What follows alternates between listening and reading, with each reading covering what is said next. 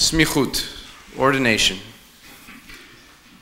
Secular humanistic Judaism is the heir to many Judaisms Bible and Talmud, rabbi and heretic, halacha and haskalah, tradition and transformation. Jewish civilization has drawn on its past and created anew in every generation. Jewish culture is inheritance and innovation. A secular humanistic rabbi learns and teaches, receives and gives, leads and inspires. V'hamaskilim yazhiru kazohar harakia harabim kakochavim leolam va'ed. And those who are wise will shine like the brightness of the sky, and those who turn many to righteousness like the stars forever and ever. Can secular humanistic rabbis make secular humanistic rabbis?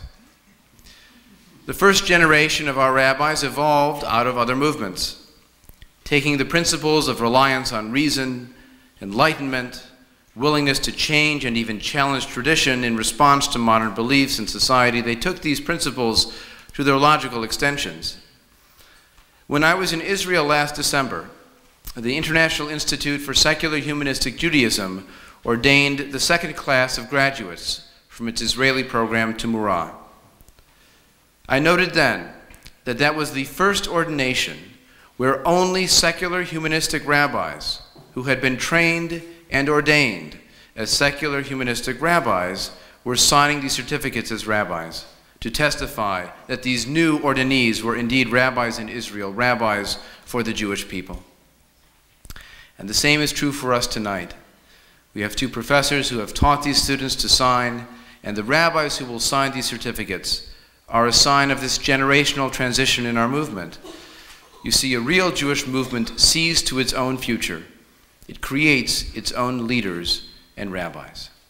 And so I would like to invite to join me on stage for the last time as civilians Karen Levy and Jodi Kornfeld.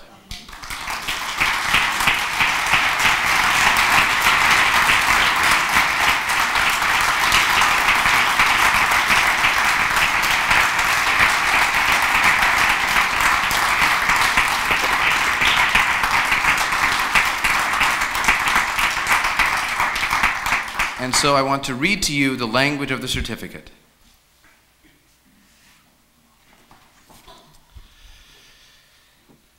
The faculty and board of governors of the International Institute for Secular Humanistic Judaism hereby certify that Karen Alda Levy and Jodi Landsman Kornfeld, Kornfeld has fulfilled all of the requirements for graduation and is herewith ordained as indeed rabbi and is authorized and licensed to perform all rabbinical functions as a representative of the Jewish people. Detroit, Michigan, United States of America, this 24th day of October 2009. And in, and in the Hebrew it asks, Torah, Torah, can she teach? She can teach. Taskil, Taskil, can she enlighten? She will enlighten on the seventh day of the month of Cheshvan in the year 5770. And so, what remains is the signing and the hugging. and so it is my privilege to be able to step to these documents along with Rabbi Sivan Maas, our Dean for Israel of the International Institute for Secular Humanistic Judaism, to begin the process of formally ordaining our two newest rabbis.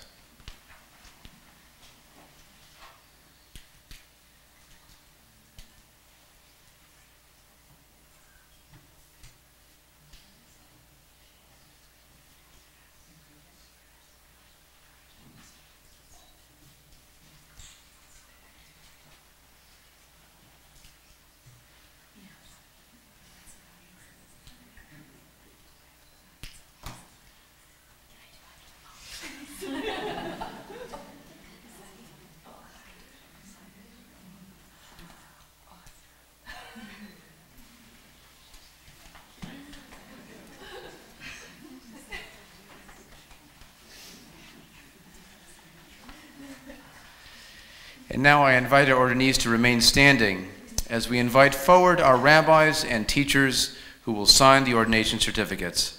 And first, I would like to invite forward Rabbi Tamara Kolton and Rabbi Miriam Jerris.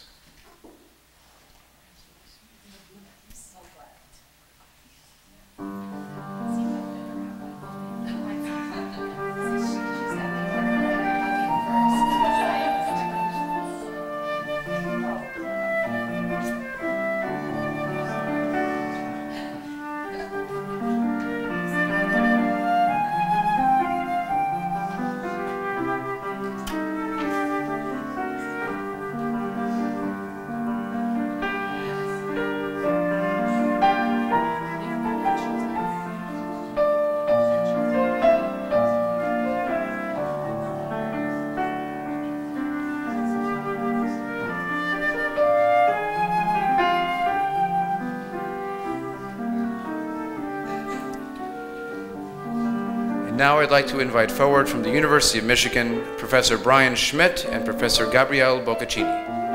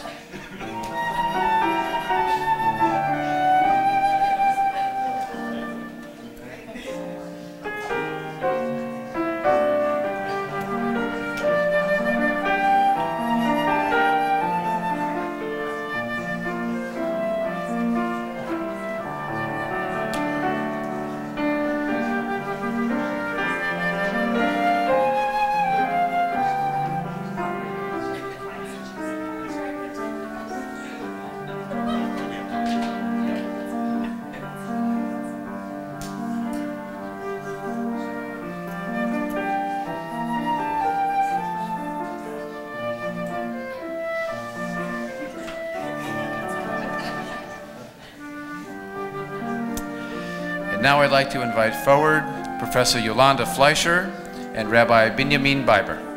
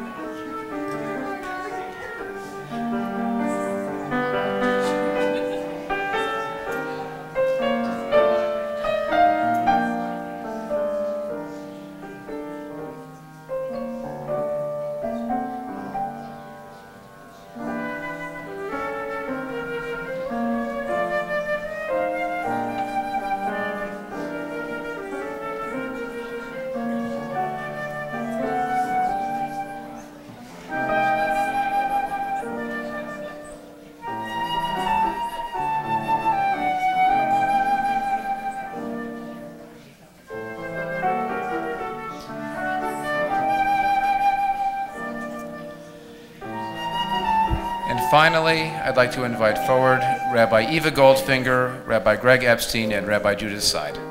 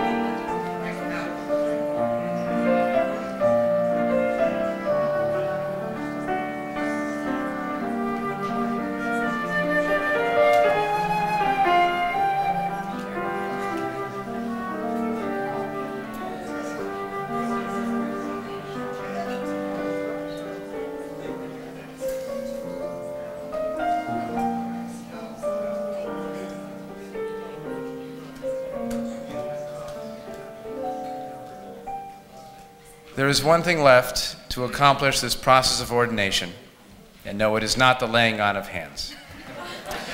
And no, it is not wishing them a Yasher Koach because Jacques Berlinerblau has banned it from public vocabulary. And it is not even to wish them Mazal Tov because it's wishing them good luck, and they don't need luck. What we wish them is Bahatzlacha, success, and good work in their life going forward. And most importantly, we offer our testimony and acclamation with loud applause. At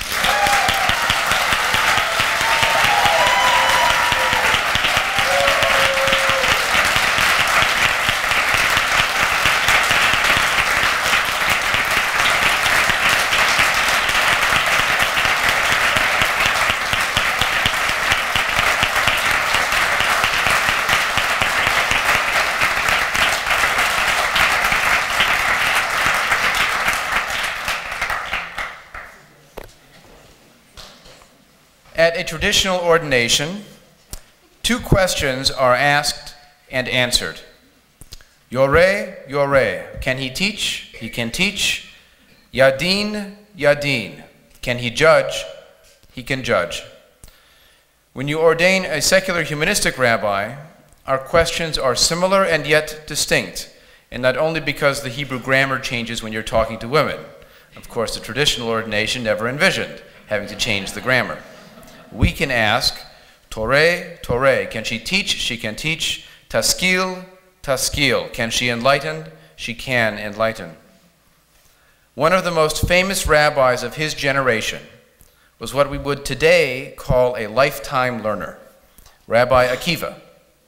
Supposedly did not start his rabbinic learning until he was 40, and he was only able to succeed because of the steadfast support of his wife Rachel in fact, the story is that she even sold her hair to enable him to pursue his studies. When we write the saga of Rabbi Jodi Kornfeld and Rabbi Karen Levy, we will have to include David and Gary, who appears have made a similar sacrifice.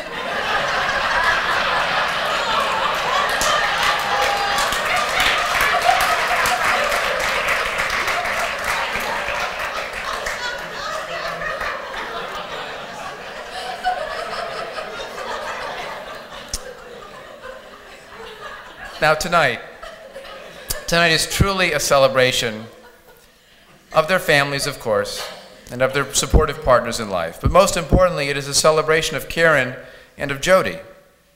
And just as we celebrated Rabbi Kolton with an opportunity to speak, I will again be brief and give them room to speak.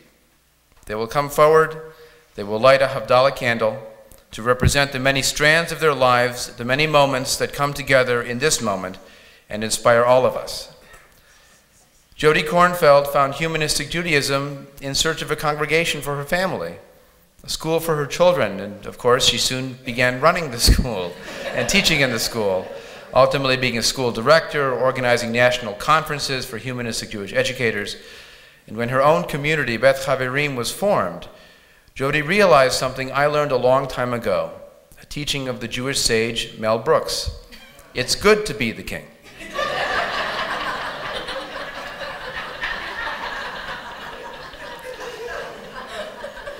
She has earned her master's degree in Jewish studies at the Spertus College for Jewish Studies in Chicago, where she is pursuing her doctoral degree as well.